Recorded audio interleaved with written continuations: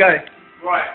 Thanks, Ben. Let's check out the new Dyson Airblade trademark. It's a new way of drying your hands, okay? So first of all, you need to get your hands wet, like so. Okay, this is me moistening my hands. Okay, and follow that. Get my hands wet. Right, we're now going to try out the new Dyson Airblade. One, ten seconds, it claims. Ten seconds. Let's go. One, two, three,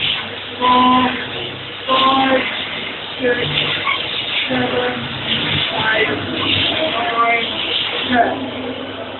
Still slightly moist. Eleven, twelve, thirteen, fourteen, fifteen. That's right, 15 seconds, line.